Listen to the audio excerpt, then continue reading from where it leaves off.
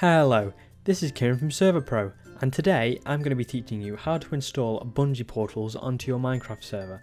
So, what is Bungee Portals? Bungee Portals is basically a plugin that allows you to set up portals that can transfer you to other servers within your network. So if I just do a quick demonstration of this. So here I've set up a portal on my lobby server which will transfer me to my faction server when I walk into it. So when I walk into this, it will transfer me to the faction server. So it's really that simple. So if I just head back to the lobby server, and then here you can see I'm back to that. So it's really simple to set up. So let's get straight into it.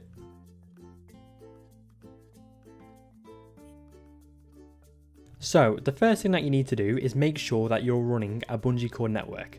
We already have a tutorial on this on the channel, so make sure you go watch that if you haven't done this already, as I won't be covering it in this tutorial. So once you have that set up, you'll need to install the Bungee Portals plugin on your hub server. So in this case, mine is the Bungee 1001 server, so I'm going to go to the control panel for that. And then we're going to need to download the Bungee Portals plugin onto our computer. So if I just open a new tab and search for Bungee Portals, and it should be the first thing that comes up for the spigotmc.org website.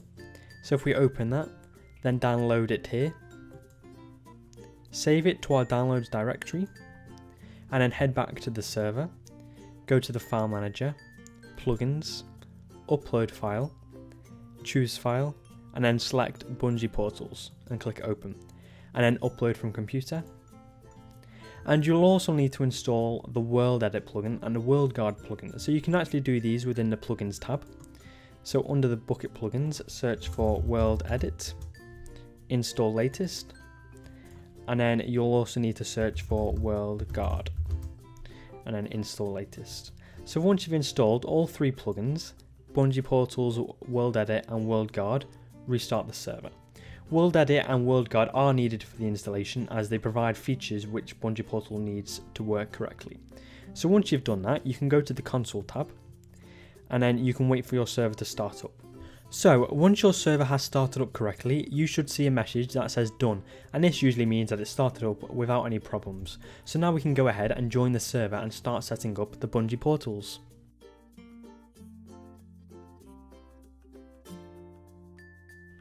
So now that I've installed the three plugins, Bungee Portals, World Edit and World Guard, we can check that they're actually working in game. So if you type slash plugins, you can see here that they are working as World Edit, World Guard and Bungee Portals are green, which usually means they're functioning correctly. We can further verify this by typing slash b portals and this will bring up all the commands available for the b portals plugin. So now that we've done that, we can go ahead and start setting up the portals. So let's get straight into it. So the first thing that we want to do is finish off building our portals. So as you can see here, this portal has water that's not moving. So to do this, you can't just place water because it will flow everywhere like this and cause a mess. So let me just tidy this up. So now that we've fixed that mess, we need to make it so that water doesn't flow. So if you type slash stop lag, this is part of the World Guard plugin and it will prevent water from moving. So now we'll be able to build the portal like this and the water won't flow.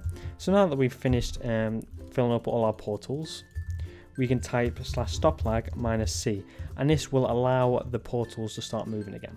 So now that we've got the portal set up using the stop lag feature from WorldGuard, we can begin setting them up. So type slash slash wand, and this is a part of the World Edit plugin, and it will allow us to select the region that we want to become a portal. So in this case, I'm going to set up the survival server portal. So if we select the bottom left hand side of the portal down here with a left click, so left click that block, and then select the top right block with the right click and these will set the first and second positions. So this basically means every block between this is selected between these two points. So all this water here. So after you've done that, you want to type slash b portals, select, and then we've used water. So you need to type the item ID. So in this case, it's nine, but if you use another block, you'll need to type the ID for that block. So this will select all the water blocks and it will disregard the wooden blocks that we've also selected within this region.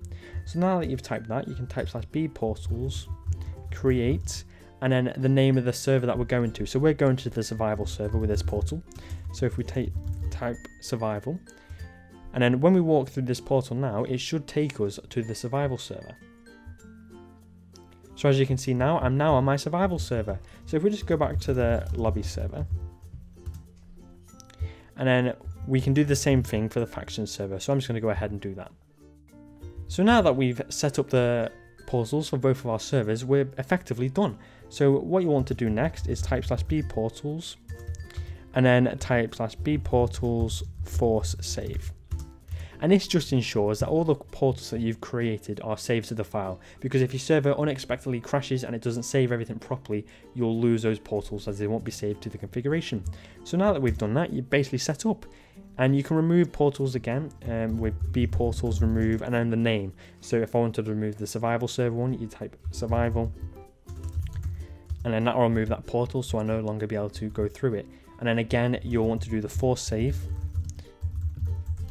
to save the changes that you've just made, otherwise they won't be saved. So that's how you set up B portals on your Bungee network, on your lobby server. So if you have any questions, feel free to contact us. Thank you for watching, have a great day, and goodbye.